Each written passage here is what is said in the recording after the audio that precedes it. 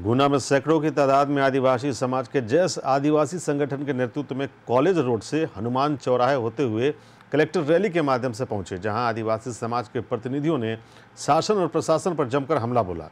वहीं आदिवासी समाज के लोगों की मांग है कि बमोरी विधानसभा में मध्य प्रदेश शासन, पंचायत एवं ग्रामीण विकास मंत्री महेंद्र सिंह सिसोदिया द्वारा स्वीकृत कराए गए ग्वाल टिटोरिया सिंचाई परियोजना बाँध को शासन तत्काल बंद करे।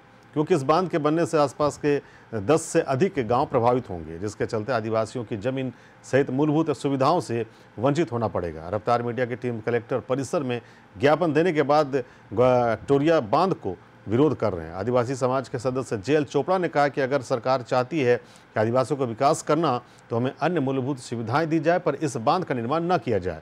इसी के चलते गुना कलेक्टर परिसर में सैकड़ों की तादाद में आदिवासी समाज के पुरुष और महिला बुज़ुर्ग सहित नौजवान एकत्रित हुए और राज्यपाल के नाम अपर कलेक्टर सोनम जैन को ज्ञापन में संविधान में अनुच्छेद धारा 141 का हवाला भी दिया। समाज के लोग आए हुए थे। अपनी जो समस्या थी, उनको लेके अभी इन्होंने यहाँ आकर के गुना कलेक्टर मोदे को, मोदे के माध्यम से, अपर कलेक्टर मोदे हैं, उनके माध्यम से राज्यपाल को ज्ञापन दिया है। जानने की कोशिश करते हैं, क्या था ज्ञापन में, क्या मामला है, क्या नाम है आपका? जी मेरा नाम जे चोपड़ा है। आ, आपका बहुत बहुत धन्यवाद पत्रकार बंधु।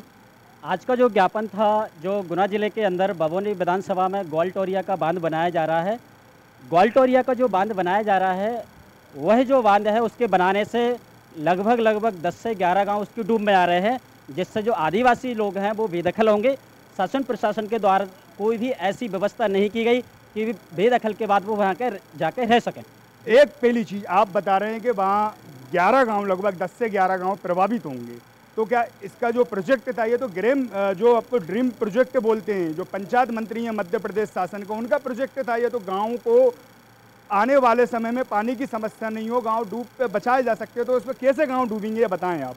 देखिए आपका कहना सही है, परंतु देखिए, जो अनुसूचित क्षेत्र है, संविधान की अनुसूची पाँचवीं और छठवीं ये कहती है कि अगर गाँव के अंदर आपको कोई भी परिवर्तन करना, कोई प्रोजेक्ट तो उसमें ग्राम सभा से आपको बातचीत करना चाहिए। परंतु कोई भी तरीके से बातचीत नहीं की गई हम इसका नहीं कर। रहे आप विकास करिए परंतु विकास के नाम पर आदिवासियों की जानबूझकर ज़मीन जंगल छुड़ाया जाता है। हमारे ज़मीन जंगल में ऐसा कोई भी नहीं है कि हमें पानी की ज़रूरत हो। बहुत सारा पानी है और आदिवासी इसको जानता है। आदिवासियों के पास पानी है। हमारा ये कहना था कि अनुसूची पाँचवीं और छठवीं के तहत हमसे बातचीत करना चाहिए ग्राम सभा बिठाना चाहिए। तो क्या आपसे बातचीत नहीं की थी शासन प्रशासन ने। नहीं हमसे कोई भी बातचीत नहीं की गई है। सीधा उसको मंजूरी दी गई है। और इसीलिए आज हम सभी आदिवासी जो विधानसभा क्षेत्र के हैं, इसका विरोध कर रहे हैं। और मैं सबको बताना चाहता हूँ कि ना सिर्फ़ मध्य प्रदेश के हैं, ठीक है, मध्य प्रदेश के अलावा गुजरात, महाराष्ट्र सभी जो आदिवासी हैं, इस तालाब का विरोध कर रहे हैं। और अगर इस तालाब की जो परियोजना ग्वालटोरिया परियोजना को निरस्त नहीं किया तो आगामी आंदोलन भी होगा। हमें ऐसा तालाब नहीं चाहिए। देखिए, अगर आप विकास कर रहे हैं तो हमारा हित हो ऐसा विकास चाहिए। नहीं अभी आपने जब आके यहाँ आवेदन दिया तो आपसे संबंधित जो आवेदन लिया गया था अपर कलेक्टर मैडम ने क्या बोला है?